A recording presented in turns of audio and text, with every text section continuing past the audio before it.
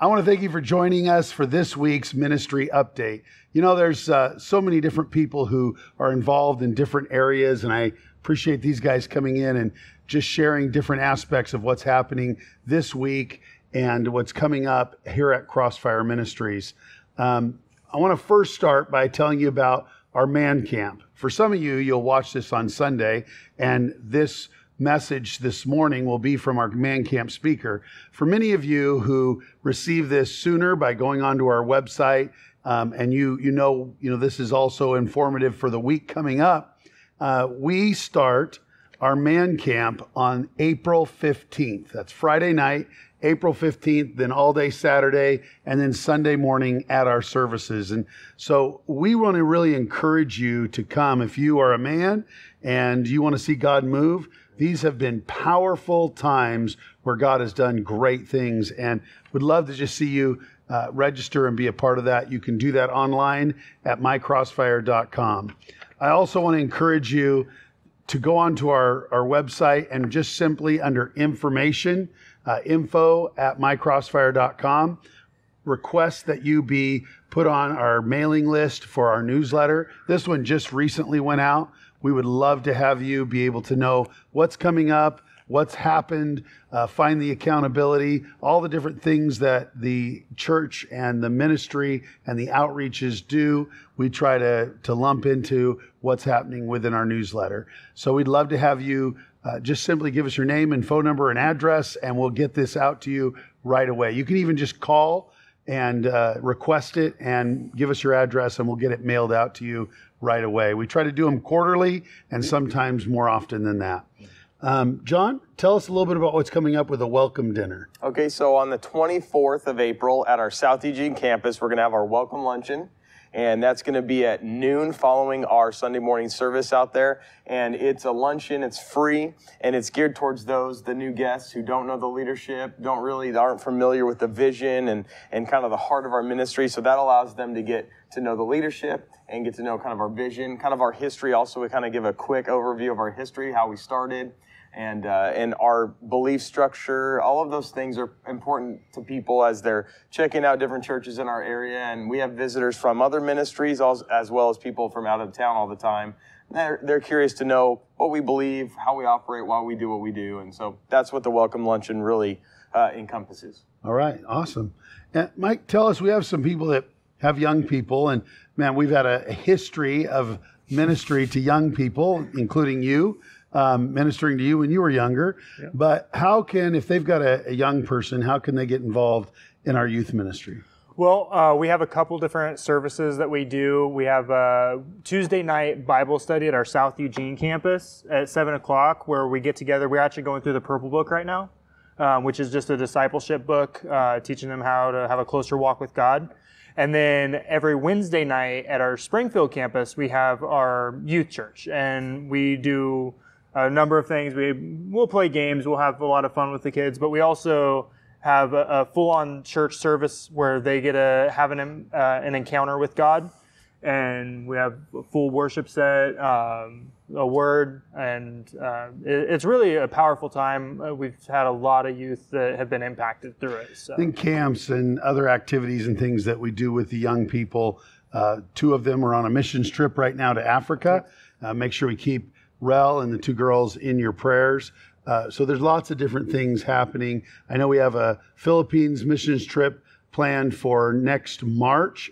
Uh, just some great stuff happening for the adults as well as for the young people and even the children in Kidstown. Um, Chuck, you've got something coming up in uh, just a few days. Yes, I'm very excited to invite everyone to our annual Passover Seder, which is actually a Passover dinner. Uh, it's the same dinner that Jesus and the disciples celebrated as the Last Supper. And it is on Thursday, April 21st at 6.30. And this year we're going to have it at the South Eugene campus. We usually have it here. The, uh, the Passover Seder uh, has been celebrated for thousands of years, and we're continuing that tradition. It's sponsored by our Heart of David uh, team, and they go through a lot of work to get it set up. And then we, we share the symbolic uh, meanings of the, the Seder dinner and how it relates to the death, burial, and resurrection of our Lord and Savior Jesus Christ. So some would say, why are you doing Passover after Easter, which is should be first fruits, which should be Resurrection Sunday? Can you explain that in about 30 seconds, just so that Well, unfortunately, the Easter is uh, on the pagan calendar, and God's festivals are on what's called the Hebrew uh, godly calendar. And so it's determined by being on Nisan 14, which is in April this year. And, and Easter, I'm, I'm sorry, I, I don't know how to explain how they picked that, but it isn't even close this year.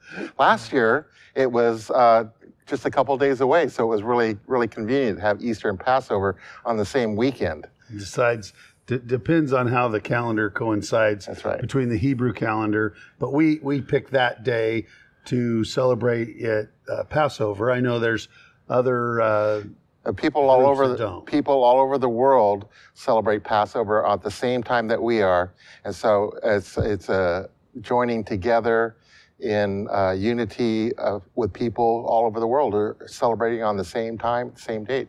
That's awesome. All right. And John, can you tell us about home groups and how people can get connected? Yeah, so we have what we call small groups. Other ministries call different things, but they're groups that allow people in our church to connect in smaller arenas. So specifically this weekend, we have our home fellowship groups that generally meet every first and third Sunday of the month, but that can change based on uh, different ministries and events. So you definitely want to go to mycrossfire.com and check our calendar to make sure that whatever month we're in, like this month or the month of May, June, when home groups, home fellowship groups fall, you want to check that out online. But also there's other small groups like our uh, ministry groups, our training groups, uh, there's outreach, outreach groups, uh, and those are all uh, made up of small groups. So people go, well, gosh, what can I get involved in at Crossfire? I mean, our, Crossfire is really a conglomerate of a lot of small groups, and those small groups meet throughout the week and at both campuses. So you definitely want to go online and check the different ministries that are lumped into small groups, and we're working really hard to try and come up with that grouping between our website and the information that goes out here, even at our both campuses. Um, but small groups are a very uh, incredible thing that individuals like you and like us can get involved in to build relationship and really grow the body of Christ together. All right. Can you also tell them how they can get involved in our 24 hour prayer? That's going to be on the 19th of April. Yeah, so every third Tuesday of each month, we join with uh, One Hope and many other churches in our city, and by taking one day a month, each uh, month every year, to cover that day in 24 hour prayer. And other churches are doing it on different days of the month. So every month, every year, every day is covered in 24 hour prayer. So we join with that group on the third Tuesday of every month, taking that 24 hour period by praying and you can sign up in the foyer. We're trying to get it set up online. Technically, it's not set up online yet for you to register, but if you wanted to write in at my, uh, info at mycrossfire.com and give us a time during that third Tuesday that you'd like to cover, we'll definitely get you plugged in for now. You can go to mycrossfire.com and you can click on the 24 hour prayer rotator and you'll get a list of all the, the prayer needs that we'll be praying over for that 24 hour period. And so we'd love for you to join in